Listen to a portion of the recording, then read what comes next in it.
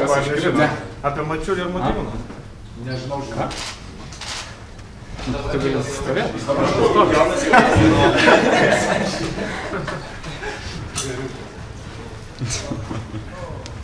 Kažkas tą žiūrėjo, robotas meška.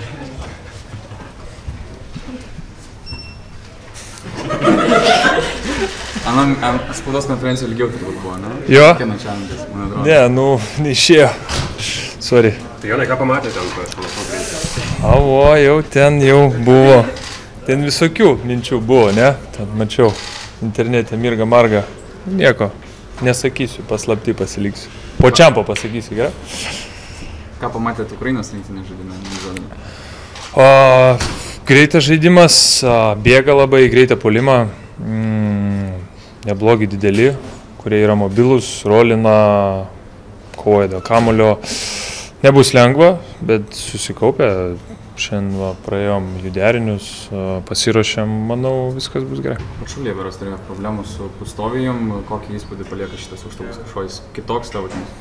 Jis ilgas labai, jisai aukštas, jisai susirenka tos kamuolius, jam lobus sumeta, gerai pasuojasi jie, tai manau, žinom kaip tą stabdyti.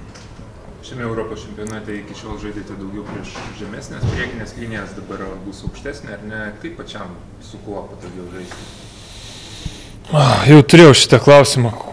Kiekvienas varžybos vėl, vėl kažkoks kitoks priešininkas. Tai ir nuo mažiukų pradėjom, nuo gerai besiginančių, blogai besiginančių. Tai, a, tai yra dar vienas matchupas, tai yra dar vienos varžybos ir vėlgi reikia pasiruošti kitaip ir, ir negaliu pasakyti, bus geriau, blogiau, lengviau, sunkiau. Kiekvienos varžybos yra kitokios. Tai tiesiog reikia pasiruošti, atsinešti galvą ir viskas bus gerai.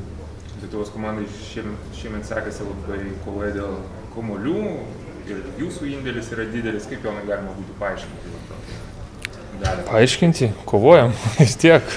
Paaiškinti, visi einam ant lentos, visi tveriam savo žmonės, visi turim atsakomybę, kad tai būtų jų vienas polimas, kad nebūtų antro šanso ir eliminuojam tos jų antrus metimus. Pačiam tai ketvirtasis Europos čempionatas ar pati aplinka, jeigu nors skiriasi nuo kitų, kitų čempionatų. Sauga, gal ten paplūdimiai, dar kažkas. Paplūdimiai, nu jo, nebuvo Latvijoje paplūdimio Rygoje, tai yra prie, prie, prie viešbučio, bet jo, geras oras, fainas, smagu, gera nuotaika, ypatingai kai komanda laimė, tai, tai tik džiaugiesi. B grupėje trys komandos turi dvi pergalės, trys komandos vieną pergalę, tas visas kortų sumaišymas, kaip jums patiems nustebino galbūt?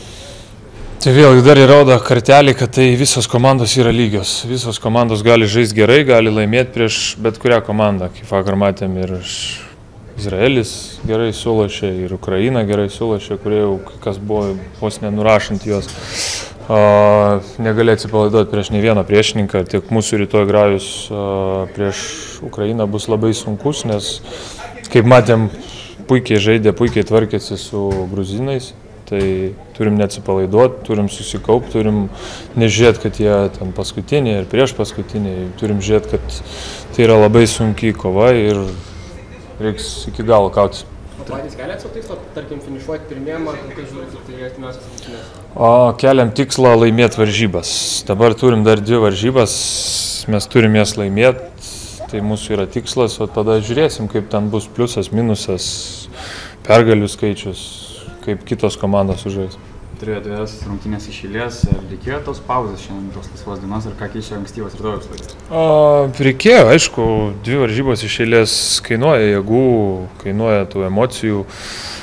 Šiandien tokia laisvesnė diena, treniruotė gan, gan tokia lengva, tiesiog prasivaikščiojimas per jų derinius, pažiūrė, paž, pamatymas, ką mes darysim prieš šios polime. Tai o, kūnui atsigavimas, tai visą laiką į naudą.